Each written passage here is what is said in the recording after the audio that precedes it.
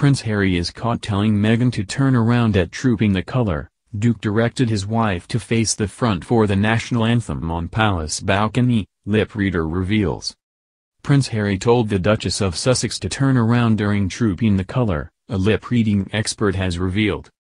The Duke of Sussex, 34, was filmed speaking to Meghan, 37, while she was stood in front of him on the balcony of Buckingham Palace last Saturday.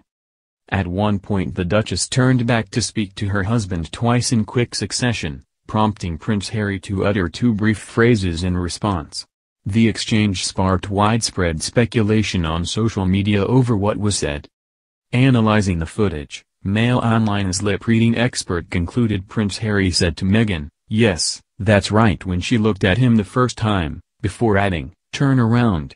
Look, when she turned back to him a short time later.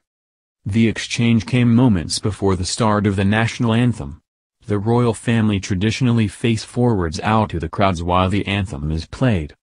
For Trooping the Colour, which marked the Queen's official birthday, the Duchess of Sussex was stood in front of her husband, and behind James, Viscount Severn, 11, and Isla Phillips, 7, who were at the front of the balcony. At the start of the clip, the royals can be seen chatting among themselves, with Harry turning to away from Meghan to speak to someone on his left. His aunt, Sophie Wessex, cousin Lady Louise Windsor and Princess Eugenie's husband Jack Brooksbank were all standing nearby. A short time later, as if joining in on the conversation, Meghan turns around to speak to her husband. The change in position means the back of her head is now towards the cameras and the thousands of well-wishers gathered outside Buckingham Palace. The Duchess appears to say something, prompting a brief reply from Harry. Mail Online's lip reader confirmed it is at this point he said, yes, that's right, as if answering a question.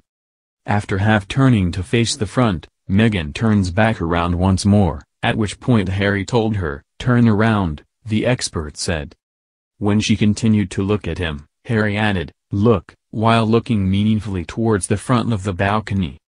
The Duchess faces forwards and the national anthem begins shortly afterwards. The clip was shared on social media by several eagle-eyed royal watchers, who first questioned whether there had been an abrupt exchange between Harry and Meghan.